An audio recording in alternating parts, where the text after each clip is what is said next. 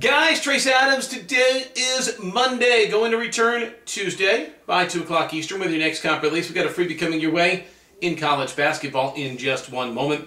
The beat goes on. Sunday, 2,000 star, double your wager, winner number four in a row. Second highest NFL selection of the season, and it was a winner on San Francisco, minus the one point at Carolina. Close game for a little bit, and then the Niners just established the line of scrimmage and their defense too good against Cam Newton yesterday. And the 49ers, a 2,000 star W wager winner number four in a row, to make it five of the last seven days on the plus side. That's right, five of the last seven on the plus side. Definitely got Uncle Mo in our corner. Let's keep momentum where it needs to be right with us as we head into this big Monday card. And we're going to make some big money on Monday. Top rated 1,000 star winner number four of five goes out. It goes out early. Texas and West Virginia, a 7 o'clock Eastern Time start. I've got your winner on the Longhorns and Mountaineers. Winner number four of five overall. Just gave you a top rated 1,000 star winner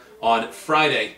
Uh, getting the job done in the NBA with the Mavericks over the Pelicans. We'll do it again tonight with the Texas West Virginia winner. Also online, 500 star pay after you win home chalk lock. I've got a home team that is going to roll large, covering easily the impost tonight. It must win or you will not be charged. That's the way the pay after you win play works. There you have it. There it is for this Monday, winning day number six of eight, highlighted by the Texas West Virginia top rated 1,000 star.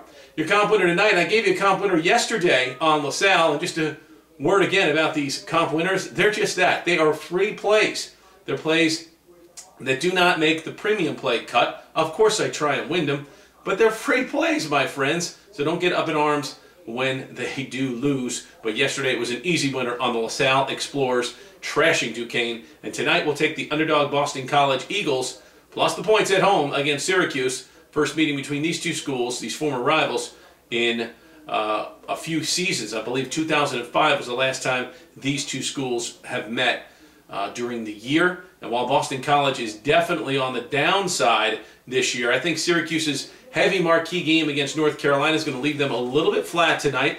Syracuse will get the win, but Boston College at home sneaks inside the number as that back door is open. Go with BC. BC plus the points at home against Syracuse. We'll talk to you Tuesday, 2 o'clock Eastern. As always, Trace Adams, dead serious about winning.